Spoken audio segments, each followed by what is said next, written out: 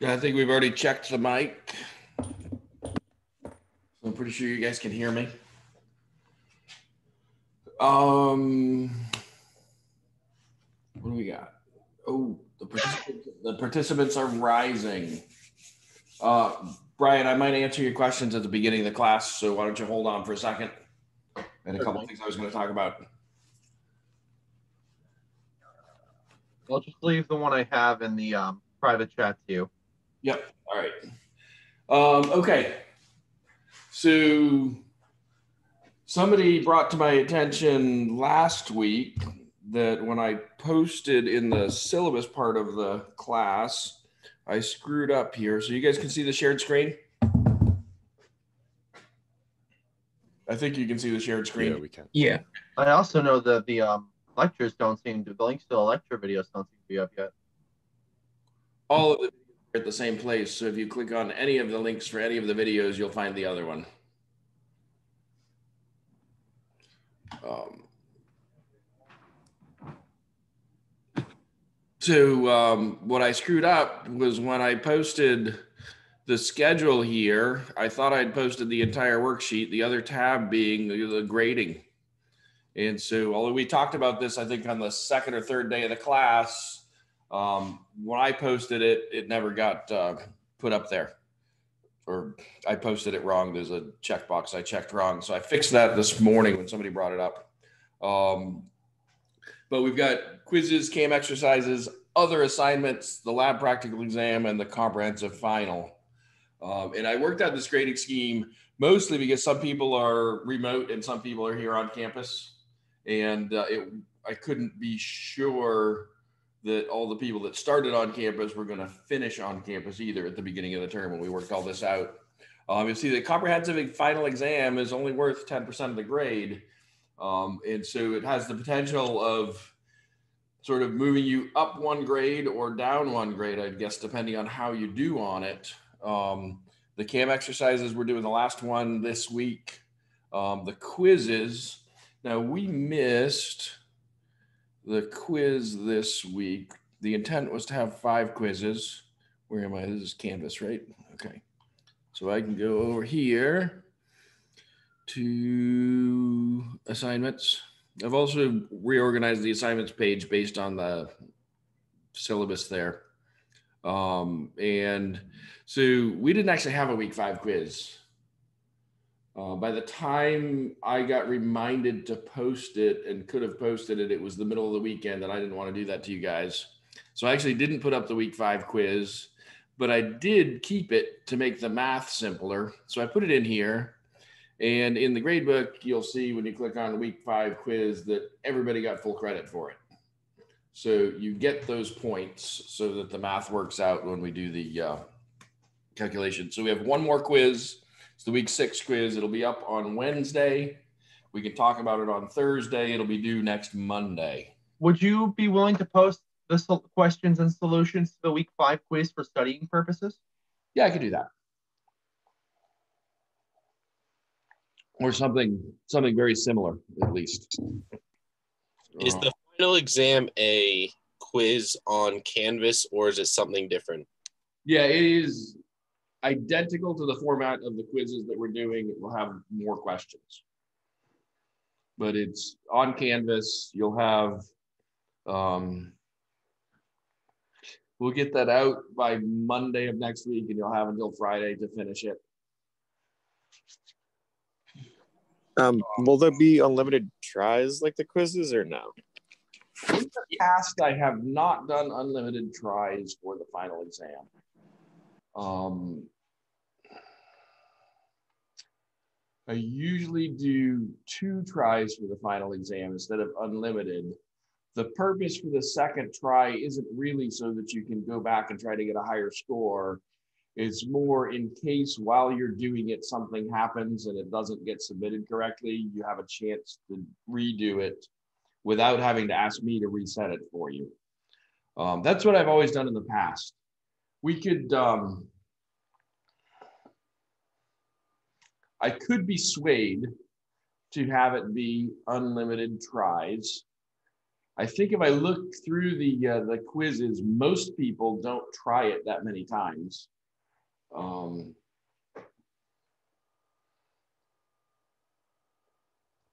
let's um let's start a discussion forum thread on that topic, and by the end of this week, um, by Thursday, I'll decide. Um, but uh, if you have an opinion, either yes or no on the unlimited tries, post it in the discussion forum why you think we should or shouldn't. And, uh, and then based on that, I'll make a decision. We'll talk about it on Thursday. Because I usually don't do that. Um, all right. And we've got one other assignment that's also due on the last day of the term. And it's about the topic of this week's and a little bit the beginning of next week's lecture. Um, and so we're going to be talking about this today. I'll go through the assignment today during the class to make sure everybody understands what I'm looking for. I have done this assignment several times before as a group project, but I'm going to do it as an individual assignment this time, uh, again, for the same reason we discussed about whether or not we would do group projects in the term. Um, let's see what else. We have the CAM assignments are all in. Um, the lab practical will be two parts. There would be a on Canvas part of it and the in the machine shop part of it. The people that are remote will only do the on Canvas part. And then the comprehensive final. So, Is there is there some sort of way to practice the lab practicum? Yes, this week's lab is about practicing the things you need to do for the lab practical. Okay. What is the on-campus part of it? Do you mean like a paper exam or something? No, you stand in front of the machine and use the machine to make a part. The same thing you've done every lab exercise. Wait. If the on-campus part is the machining part, then what's the lab part? Not machining?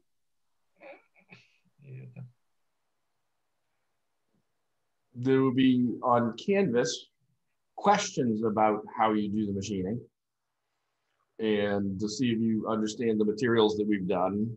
And then Okay. in the lab, next week, when you do one of your two lab sessions, Oh, Canvas. I thought you said campus, like on campus. No, My no. Sorry. Yeah, that, that would make it. Yeah, on camp on campus, we're all gonna one at a time. We're gonna gather at the fountain and we're gonna see who can jump the highest. The person that can jump the highest gets an A. Everybody else fails. No, sorry about that. Yeah, that was a um, canvas and campus do sound the same. Yeah, that's my bad. All right, so yeah, the lab practical in the lab, you'll be at the machine, you'll go through, do the steps on the checklist, make a part. It's a simple part. It uses one tool. um, okay. So yeah, so that was that was my bad. When I posted the schedule, I thought that I posted the schedule and the grading stuff. Um, and some people had asked about that last week, and that's when I figured out that I screwed that up and uh, didn't have it posted correctly on Canvas. Uh, but again, if you go to the syllabus tab, we've got what we're doing this week and this. You can scroll back through all the weeks. And there's the schedule, and that scrolls over because it doesn't all fit on the page. And then the- There's a blank on that lab schedule.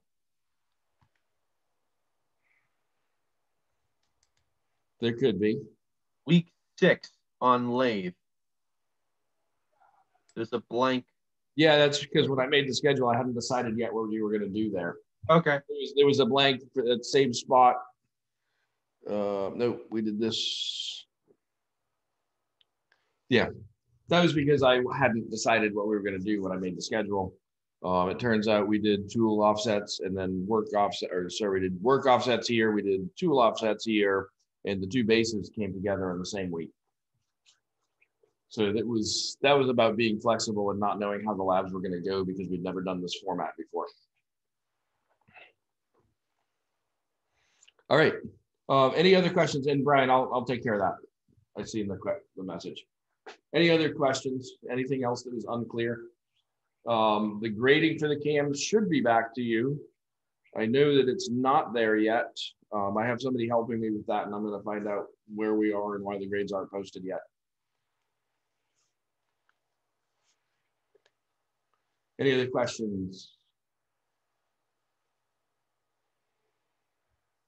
Okay, outstanding. Then let's get to today's topic.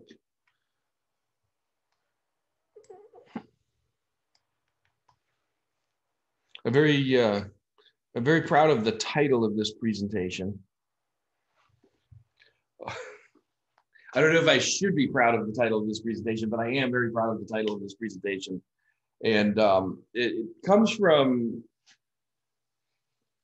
one of my favorite moments as a um, MQP advisor. And this was a uh, this was a big project. I think there were about 13 students working on the project. They had divided themselves into subgroups, and some people working on this part of the project, and some people working on another part of the project. Um, and there were three advisors, so three co-advisors, and we had one meeting a week where the entire group got together with the three advisors and all of the students working on the project, and uh, and we would meet in a big conference room and they have the computers and all that stuff. And I, I've actually, I think maybe in class I've talked about this student before. He was the the one who um, he at the beginning, uh, his first experience working in the lab, he um, he came in to work on a project and he just had to adjust a couple parameters, post the code, run the program, adjust the parameters, post the code, run the program. And after doing that for two weeks, he felt like he had learned so much. He said, uh, he said, now that I know how to do machining, engineering is so much harder. And, and that was after two weeks of actually just watching a machine work for a little while. So that was, um, so this student was in this MQP. And somebody presented the SolidWorks model of the design of one of the parts that was going to go in the, the thing they were making. And, uh, and he puts it up there and he's showing it all and it's got and it's got the things we talked about last week, the things that the kids with CAD do. So it's got the curvy surfaces all over the place and it's all blended together and it sort of wraps up on itself. And to serve the function that they wanted to do, it probably was not a horrible design. But, uh, but the other student in the group, he stood up. He stood up and he looked at his project partner and he says, dude, how are you going to make that? And that was when I declared victory because I knew that that student at least understood about the design for manufacturability. And so, so that, that title stuck around for, for this lecture. And uh, sorry, I'm so proud of it, but uh, here we go. So I've got a question for you. And it, and it goes to the question, what's the cost of changing a light bulb? And if one light bulb costs 99 cents and another one costs 6.99, which one should I buy? And so let's see, I don't have a poll going, but we can use the uh, participants thing. So say yes if you think I should buy the 99 cent light bulb and say no if you think I should buy the $6.99 light bulb. And so go ahead and pick a choice. Everybody choose. The total should add up to 32. So I get 13, I get two no's. So two people have voted for 699. 19, 20 people have voted for 99 cents. I've got See, that makes 26. So that means I've got six people that are asleep.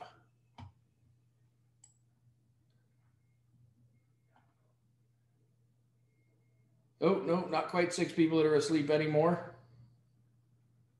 Now it's only five people who are asleep. Let's see who they are.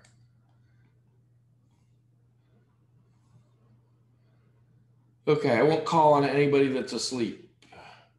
Um, so you come down to the bottom of the list. I never call on people at the bottom of the list.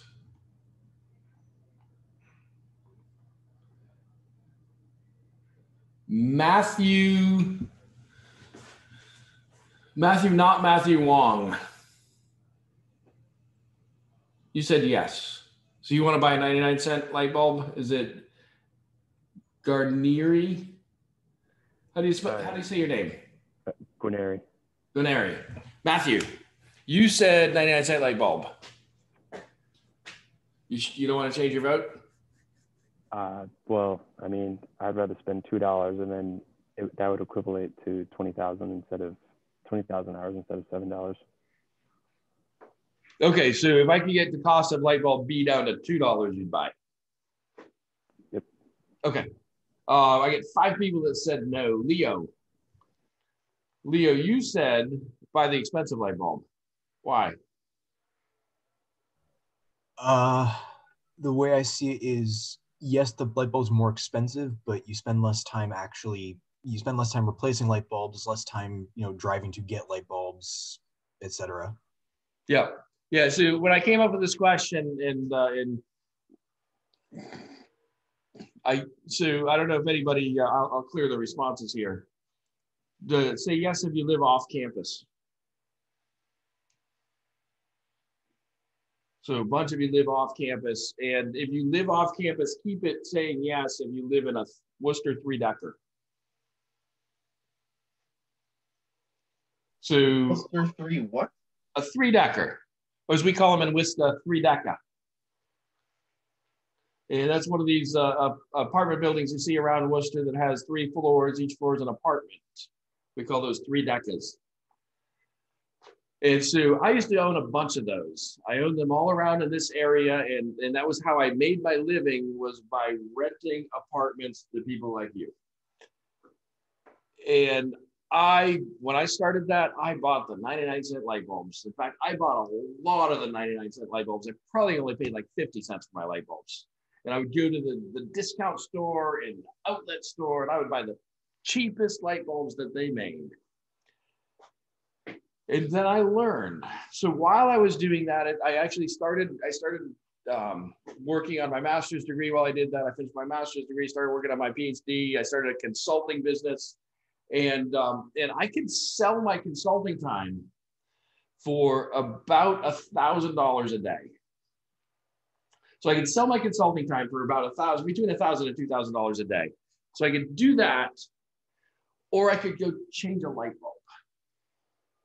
And so what I, what I found out, oh, and, and you never have to change a light bulb when it's convenient for you.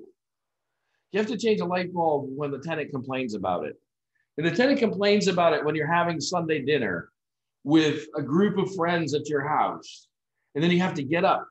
You have to go to the place to see, oh, it's the light bulb way up there that I can't reach.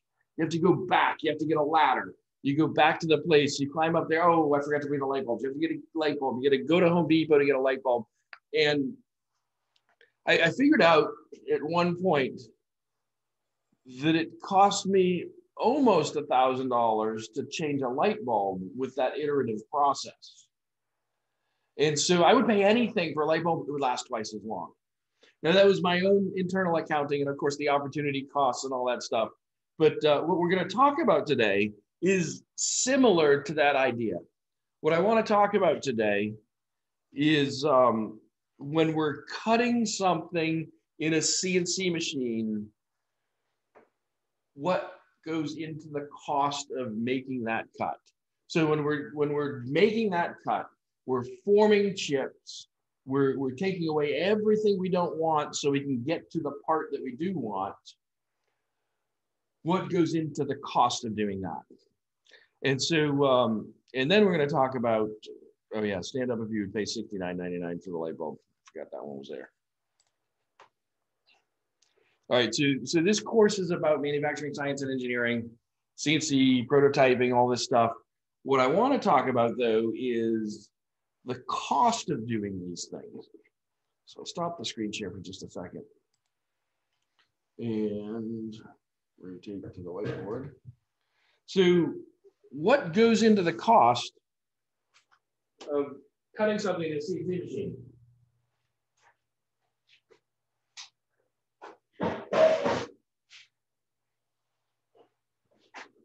I wasn't wandering away. I needed to find a marker that you guys can see on the whiteboard.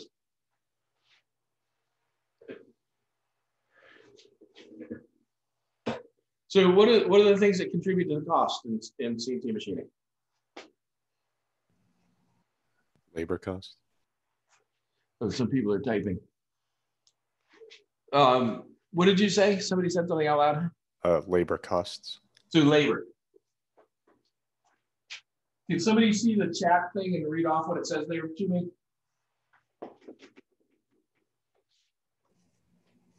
electricity, runtime,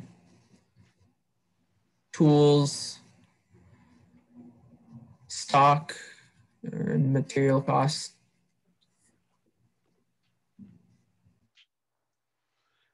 So labor, power, time, tools, stock, was everything else in the chat window, is that a repeat or is there something new?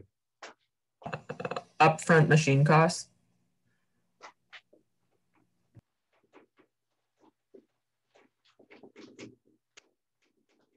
So it costs, it costs money to own the machines, what else? Material stock, tools, runtime, electricity, the cost of changing light bulbs. Um, The cost of changing light bulbs thing was a separate thing, or unless someone else put it down. um, yeah, that's all right. So, I mean, that, that does, so that, that's maintenance of the facility though.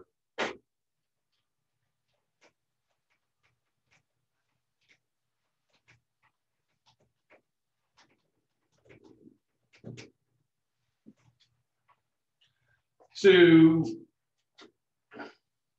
labor, power, time, tools, stock, owning machines, maintaining the facility. You want to say leasing?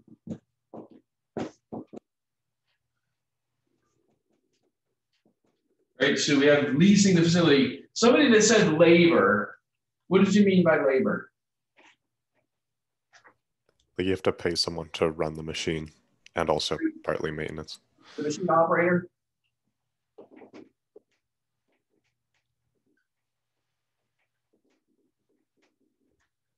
Um, is there any other labor associated with the cost of making a part?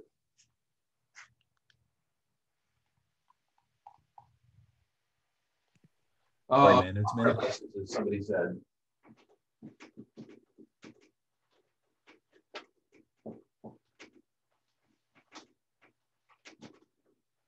Yeah, the, uh, you, you pointed out Esprit and other software.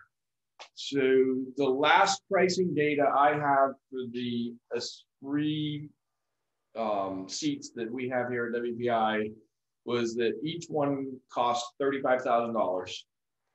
And there was a roughly five thousand dollar a year maintenance fee. We got it for free from Esprit on a handshake deal with the CEO though, so don't worry about it. It's not your tuition money.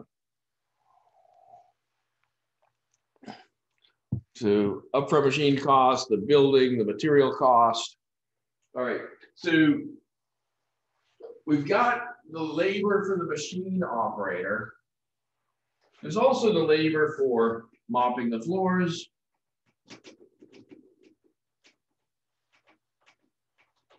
Right, answering the phones, doing the sales, paying the CEO.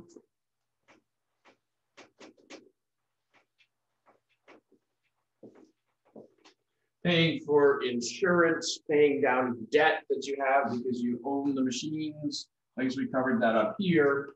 Uh, returning capital to the investors that allowed you to create your company. So we have a lot of these kind of costs that are really overhead.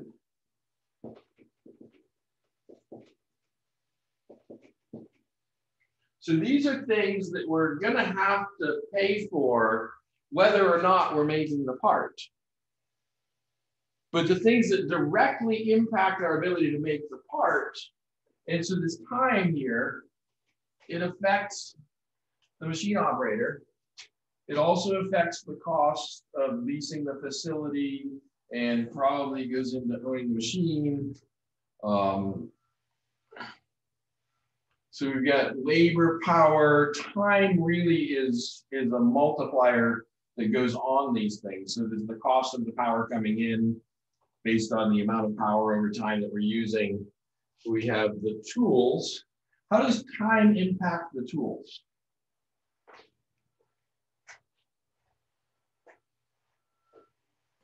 The more the tools are used, the more they'll be worn down. You'll have to replace them quicker. So the more time we use the tools, the more quickly we'll have to replace them. Does time impact the stock material? It might. It might impact the stock material a little bit if the cost fluctuates on a, on like a global market, right? But in reality, time does not impact the cost of the stock material. So time doesn't have any impact on stock material. So that's interesting to note. Time definitely has an impact on how much power it takes to do it. The longer we run it, the more power we use. And time has a direct impact on labor for the machine tool operator. Time also has it. So let's imagine that we're making so many parts that we can't finish making the parts that we need without having to replace some the tools. So if we're using the tool long enough so that the tool wears out, then we're going to have to also have the machine operator change the tools.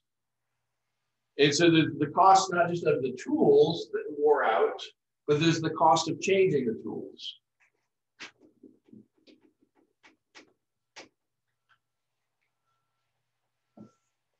And so we focus on how much cost goes into making the physical part. I think we've sort of captured the big things that are on this list. Now we started out with with the idea of how much does it cost to change a light bulb, right? And and so my point of changing a light bulb said that the cost of changing the light bulb far outweighed the value of the light bulb. Is it possible that that's true about uh, tooling and CNC machines?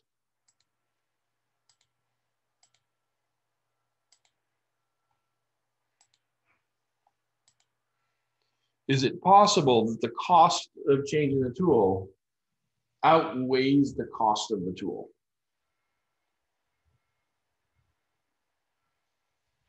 How much does a uh, how much does a machinist get paid? Anybody know?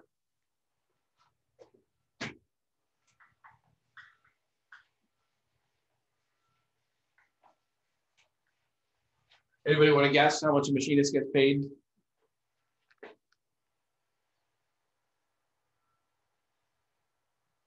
No guesses?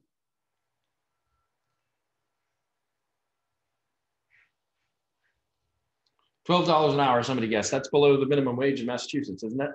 It's pretty close to the minimum wage in Massachusetts. So we did a we did a program here where we took um, displaced workers, so people that were collecting unemployment. We hired WPI students to teach them how to operate CNC machines, and so they, they basically they got to learn how to do the things that you guys are doing in the lab.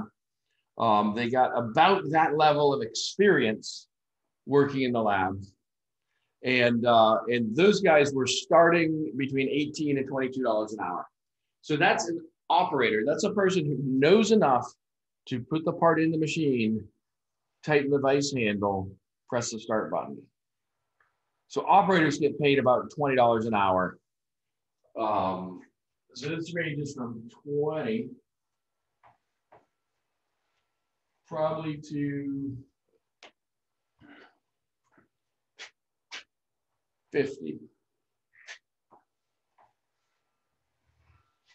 That's probably the range of pay rate for those people. The person that's doing the tool changing and the setup in the machine is getting closer to this end. The person that's just loading a part in and pressing the button is getting closer to this end. so how much does one of those mills cost?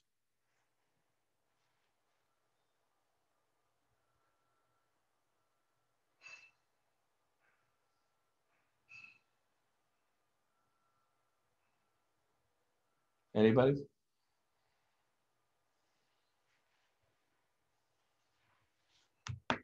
Anybody know how much an end mill cost? Anybody could Google it and find out?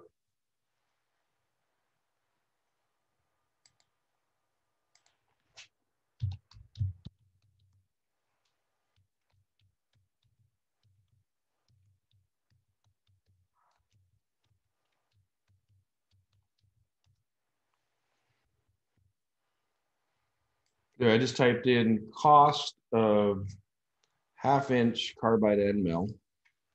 Where's the screen share?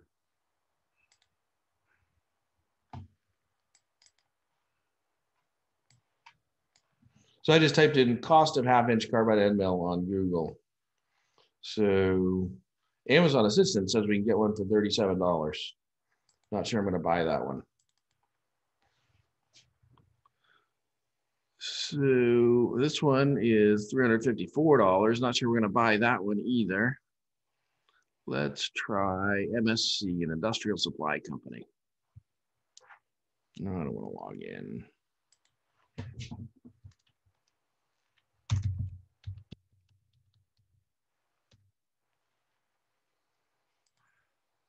End mills. Come on. There you go. What kind of end mill do you guys want? George says between sixty and hundred dollars. Let's see if George is right. Let's just get a regular old square end mill.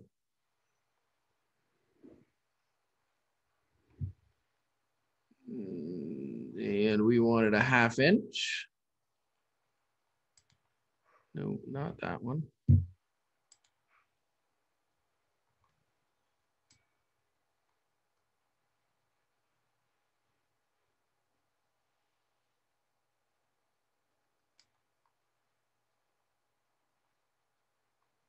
There we go. Half inch. And so 50, 40, 80, 30, 40, 30, 60, 85, 68, 70, 27, 53, 103, 61, 47, 86. So I think George is pretty good between 60 and 100 dollars. Um, you can get one cheaper, you can get one more expensive. And so how does it take to assemble a tool, put it in the machine tool? You take the old one out, bring it over to the tool assembly bench, break it down, put the new one in, bring it back to the machine, probe the new tool. How long does that take? Say roughly 10 minutes. I was gonna say 15 because that makes it a quarter of an hour. And so, but yeah, 10, 15 minutes. So it's gonna cost between five and twelve dollars. Call it fifteen dollars. What's the cost of not making parts for 15 minutes?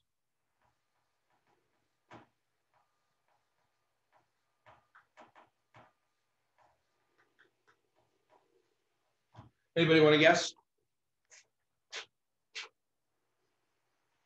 Depends on what the part's worth, right?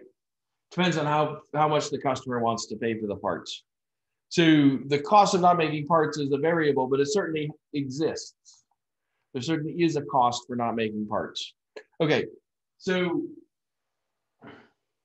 we know that labor is important for making the, the parts. I'm sharing the screen. I want to turn off screen share for a second. Okay. So we know that labor is important for both the tool change and the cutting. We know that the power is important. Now, when do we change the tools? When do you think we should change tools?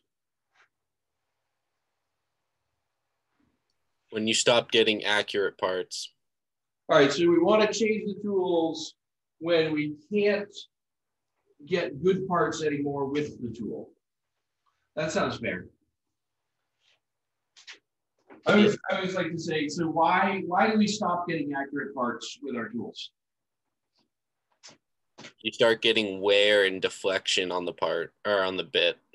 I think the deflection is going to be there whether the tool's new or not, except it could go up. You're right, it could go up because as the tool wears out, the cutting forces are going to go up. The cutting forces are going to go up because that that um, effective rake angle is going to change.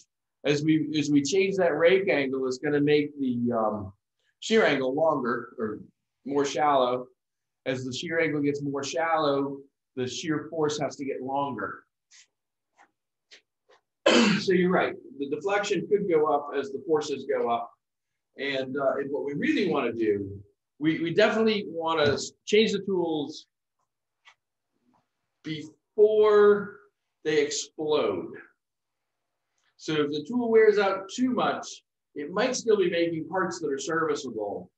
But when the tool explodes, bad things happen inside the machine tool. So we certainly want to change the tools before the tool explodes.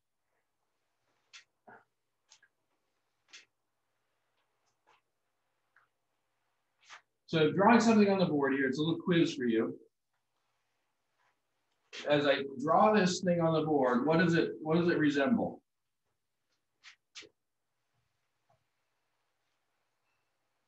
Check and see if you're awake. What did I draw on the board?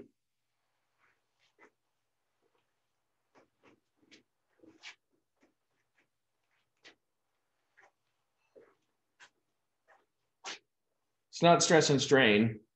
Get more generic. A linear, a linear graph passing through the origin. Yeah, maybe I should move the origin.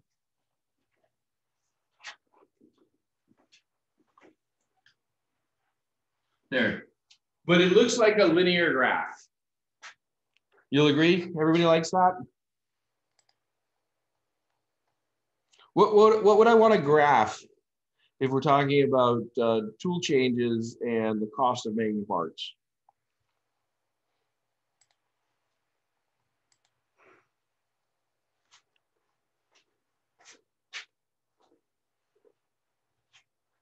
I should do the line in the wrong direction.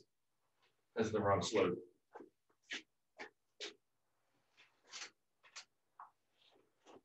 What would I want to graph? So profit rate would be nice to graph, but, but we want to get more focused than that. We want to focus on the cost of making the cut on the machine tool.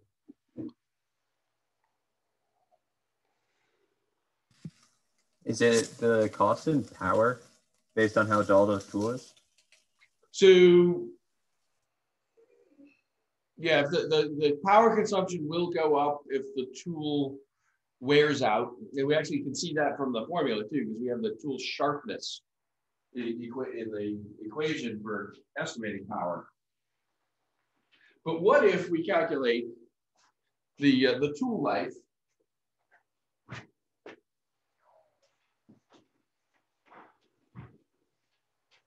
And so if I'm trying to decide which tool to buy, I want to know something about the tool life.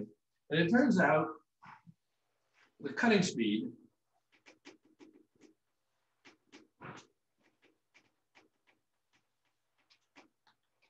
you go on this axis.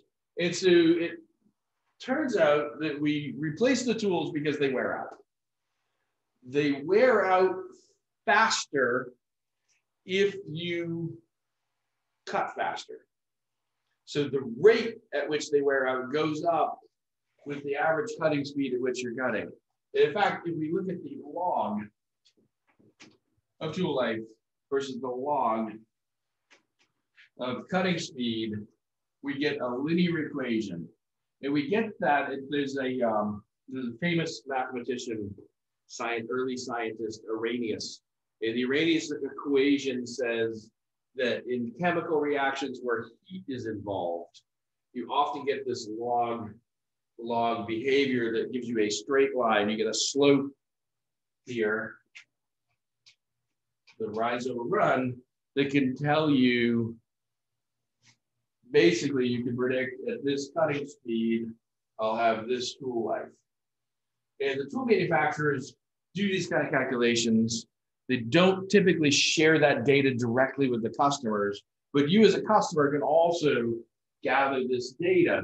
And so if the tools wear out, the faster we cut, should we cut faster or slower in the machine job?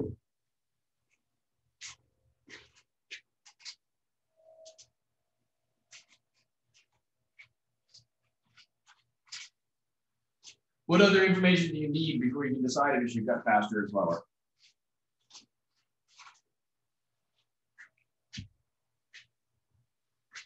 What else do you need to know in order to decide if you should cut faster or slower in a machine shop? Well, how much it might cost to spend more time on it. All right, so we Especially say with like power to the machine consistent. The longer the machine is on, the longer whatever bill you have for electricity. I don't think we really. So the, the power consumption probably also goes up with the speed of cutting. Um, because you're spinning the spindle, Fair enough. probably drawing a little bit more power. But um, I, I think the the main concern here. Let's look at that. Let's look at a, a formula that can describe what goes into the cost per cut, right? So the cost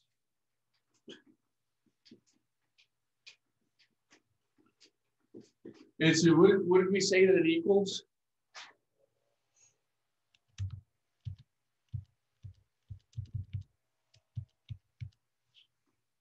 So there was the cost of cutting time.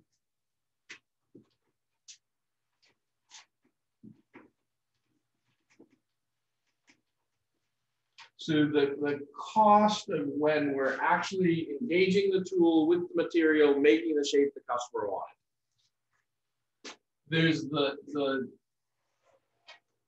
non-cutting time.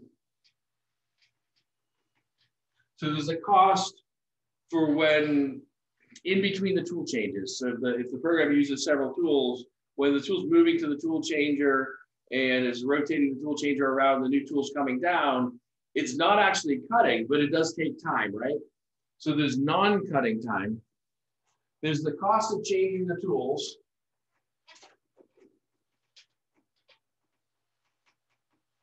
And that's when we're physically putting new tools in the machine tool. And there's the cost of the tool itself.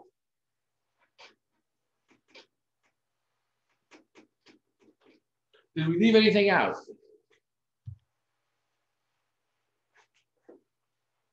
The cost per cut equals the, the cost of the cutting time, the cost of the non-cutting time, the cost of the tool changes, and the cost of the tool. What did we leave out? labor, the material. power. Yeah. Well, well, so, so they material. built into all these times, right? Or anything that has a time about time associated with it, the labor's built into.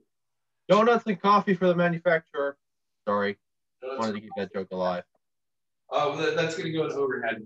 So we, we left out the cost of the material.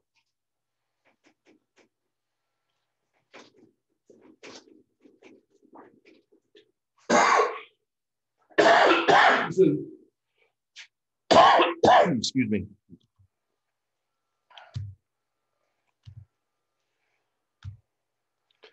And so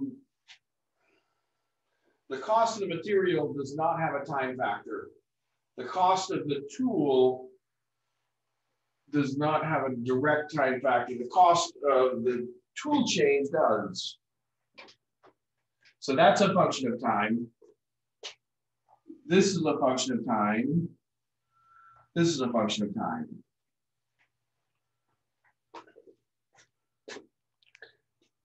And so what we can find out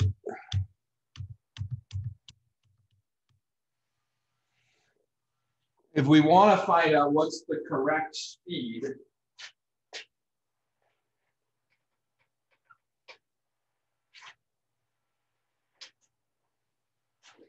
what's the correct speed versus the cost to make the parts. So we've got speed here and cost here. And we want to know what's the right speed we can plot the cost of cutting. And as we go faster, the cost of cutting appears to go down. And we can plot the cost of the tool change. And as we go faster, the cost of the tool change appears to go up. And if we add those two graphs together, we'll get a minimum value that shows us an optimal speed for cutting these parts under these conditions. So who does this?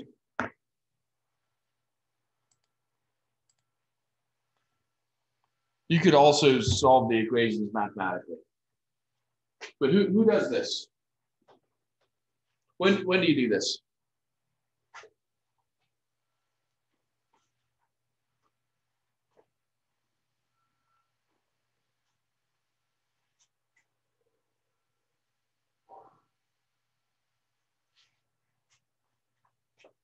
So I've, I've seen I've seen an MQP do this. They were analyzing a factory. They went there to try to help the people running the factory understand how they could save money in their factory. And they did these kind of calculations. But you can't do it if you're making 100 parts. You do it when you're making the parts as fast as you can make them and the customers want to buy them faster you, you don't do this when you have a short production run. You do this when you have a large production run and you have to make the parts faster because the customers want to buy them faster than you can make them. That's when you're going to do this kind of analysis. But you can always think about it. And you always know that the faster I run the part, the more heat that gets generated, the uh, the faster the tools are going to wear out, and it's going to cost more. I had a um, I had a part that we were running right after I bought my uh, my company, and we're grinding a really hard material, and it really depended on what the delivery date the customer requested was on how much it cost us to make those parts because we couldn't not deliver on time for the customer. So we had to always be on time for the customer. And sometimes they would ask us on Thursday to have a bunch of parts for them on Monday, and we'd have to work through the weekend to make those parts. But I could have the cycle time for one part vary from eight minutes to 25 minutes.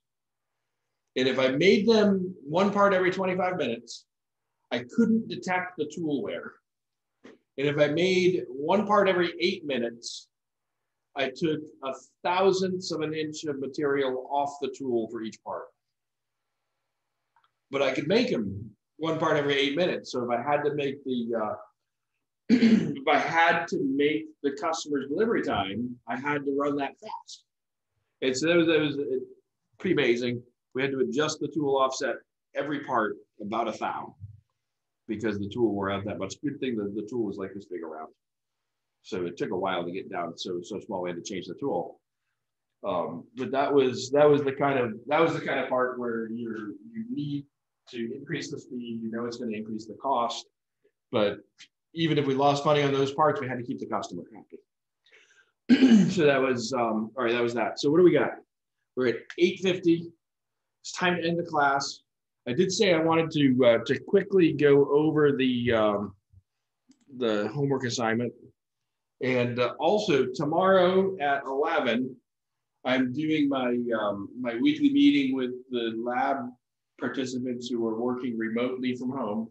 You guys are welcome to join that. Tomorrow, we're going to actually do an experiment, and I'll send out the details to the class for, for how you can do this experiment at home. You can do it in the library too, I suppose. Just clean up after your, yourself when you're done with that. Uh, but to do this experiment, um, you need a stick of butter and a butter knife. And, um, and we're going to do that experiment tomorrow at 11. Everybody's welcome to join us. Um, so very quickly, if anybody wants to stick around, I will take a look at the, um, I've got too many tabs open. I'm Just gonna find it. Take a look at the assignment um, for next Friday. Think how much does it cost assignment? Say again? Are you referring to the how much does it cost Yeah. assignment? Yeah, yeah, I'm just gonna pull up the instructions so we can go through and make sure everybody understands. But I know if you've got to run to another class, go do that. Um, and this will be right at the end of the video for today's class. How much is that going to cost? All right. It's published. I need to share the screen. All right, so I should be sharing the screen that I meant to share. You guys can see that? Estimating the cost of starting a manufacturing company from scratch. And we're gonna we're gonna talk in detail about this on Thursday, so don't feel like you need to get all of the questions answered right away. but I want you to imagine that you're starting a machining, a manufacturing company from scratch, and that the company is being created to make your new product, your new product, we're, we're making the prototypes in the lab right now.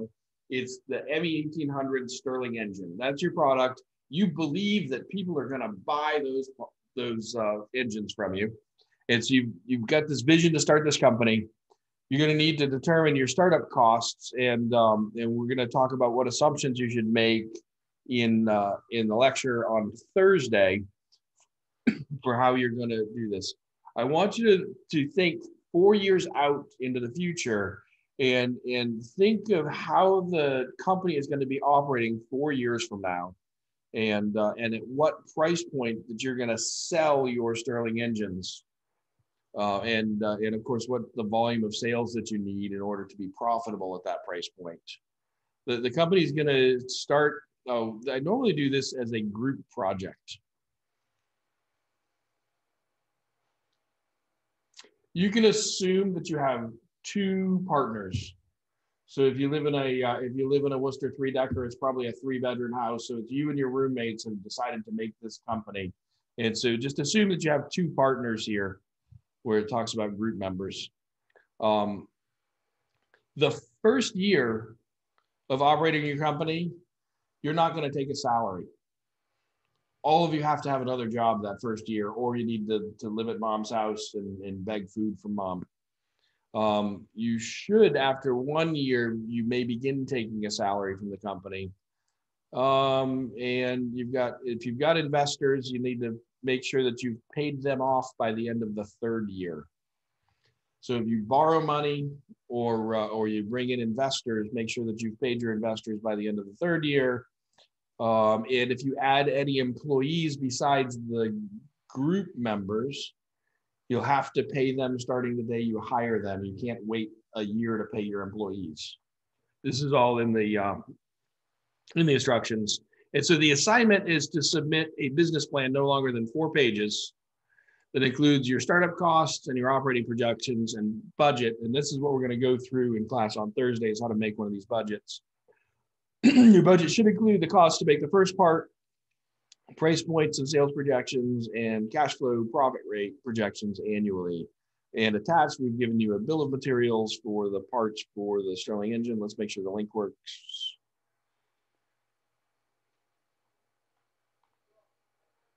Redirecting, yes, please do that.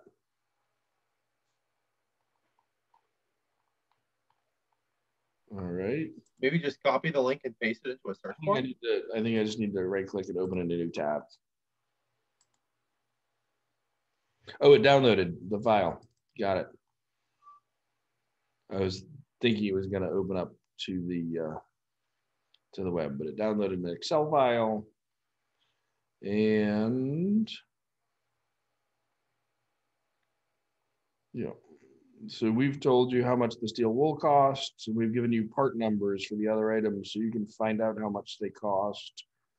Or we've given you the size for the aluminum. And again, on Thursday, we're gonna go through how to get, how to find those numbers. Why are most of the entries empty on that bill of materials? What do you mean? Pull up the bill of materials again. I'll probably have to download it again. It, you could go to like the files and select the downloads folder. It should be the most recent thing.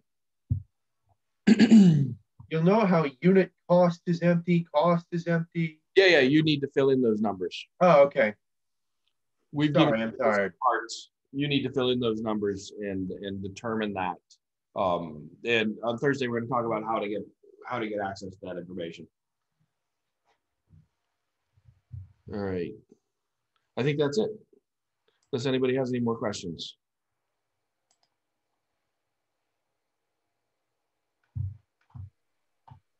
I guess this might be tackled on Thursday, but um, what's the big format for a business plan? Are we looking at part essay, part presentation? Are we looking at?